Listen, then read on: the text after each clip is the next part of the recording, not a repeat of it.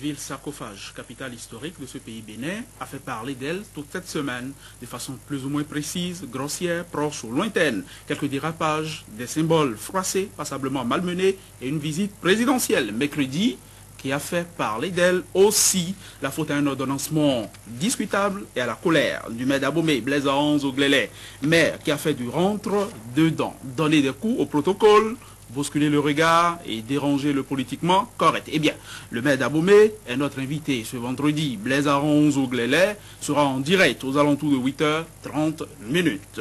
La rencontre, le débat, le face-à-face radio-télévisé Bagbo Ouattara a eu lieu hier soir.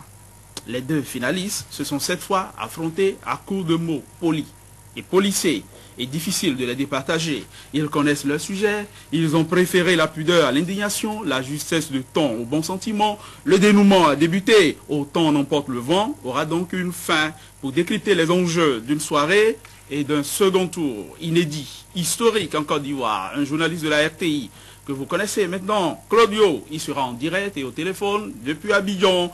La chronique fait divers du vendredi de Supplice Sagbagidi ou quand le mensonge prend les dehors de l'escroquerie ou de l'anac. Pas très glorieux, n'est-ce pas? Et ça peut porter malheur. Le titre de la chronique ce vendredi, l'autre mensonge. Voilà pour le sommaire. Bonjour à tous, bon réveil et bienvenue sur Canal 3 Bénin, bien entendu.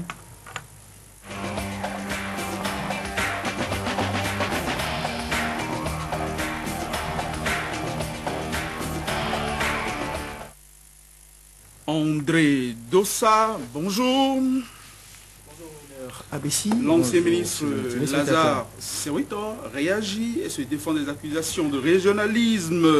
Il a accusé le coup, visiblement, mais nous autres, mercredi dernier, n'avions fait que notre boulot en tout professionnalisme et en toute équité. Merci, Winner. Bonjour, Winner. Bonjour, chers amis téléspectateurs. La une de Fraternité avec cette information dont vous parliez, Winner Abessi, accusé de régionalisme. Lazare Serpeto réagit. La réaction de l'honorable député, c'était à la page 2 du quotidien Fraternité. Par décision numéro 003 MESFTP DCSGM DEPSP, les 38 collèges privés fermés par le gouvernement pour non-autorisation ou non-respect de la réglementation en vigueur. Affaire de la destitution annoncée du maire d'Alada, le ministre Alassane Seydou répond à l'interpellation du député Tidjani Sierpos. Grève sans service minimum dans les hôpitaux publics. Même la réquisition à 20 000 francs CFA a échoué au CNHU. Assemblée nationale, les députés dénoncent l'absence de la présidente de la commission des lois. Après les critiques du chef de l'État sur la Troué, les sages et dignitaires d'Abomey répondent à Boniaï ce jour. Récent encerclement de la bourse de travail par les forces de l'ordre, la députée Saka Fikara et plusieurs de ses collègues interpellent le gouvernement en dixième journée avancée de la Ligue Move de la Move Ligue 1, Mougas Mamba, le duel des leaders. L'autre mensonge, titre le chroniqueur national de Fraternité ce vendredi. La nation, intégration sous-régionale, proposition pour un marché intérieur de l'UMOA. L'autre vision, hasard de calendrier suspect entre certains groupements et la famille ABT. L'atmosphère risque d'être électrique ce week-end à Djougou. Le journal parle de curieuses manifestations qui auraient été programmées pour coïncider avec la célébration du 30e anniversaire de la mort du père de Bio Chani. La presse du jour, affaire escroquerie pour 5 milliards sur un Chinois, quand les scandales sous le changement prennent une dimension internationale. Panique chez les investisseurs étrangers.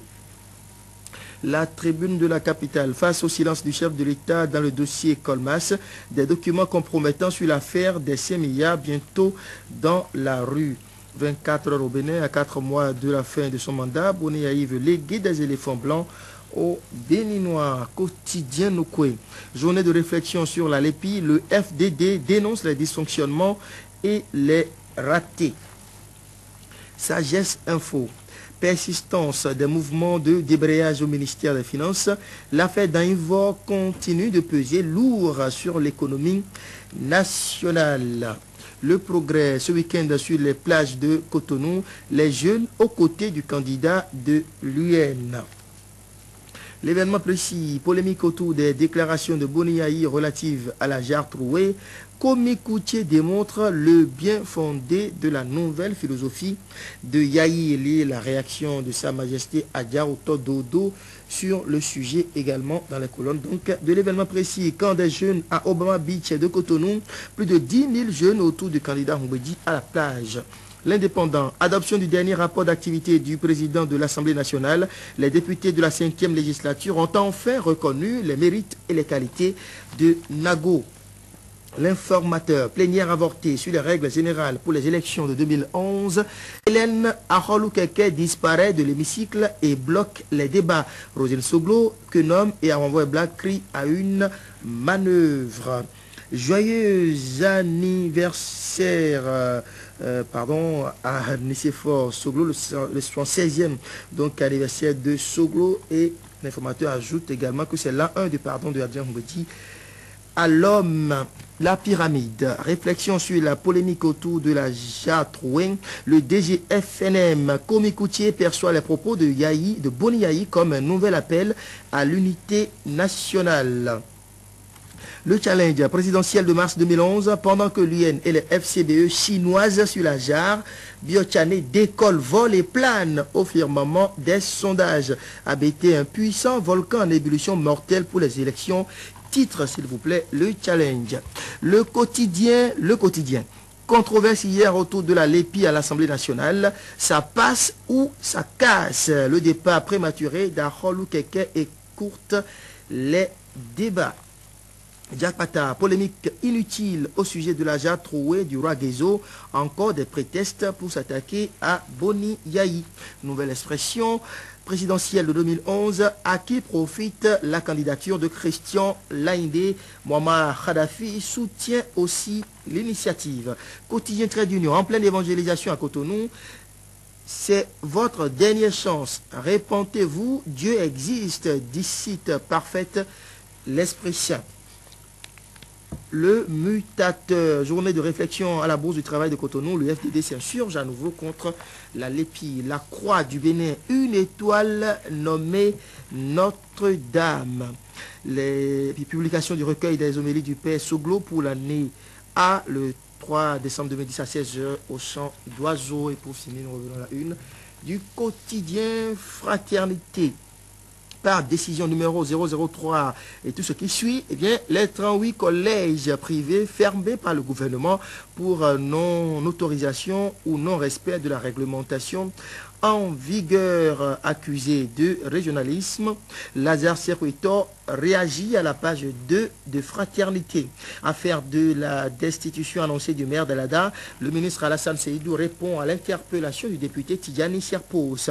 Grève sans service minimum dans les hôpitaux publics, même la réquisition, s'il vous plaît, à 20 000 francs CFA a échoué au CNHU. Assemblée nationale, les députés dénoncent l'absence de la présidente de la commission des lois. Après la critique du chef de l'État sur la Jatroué, les sages et dignitaires d'Abomé répondent à Boniaï ce jour.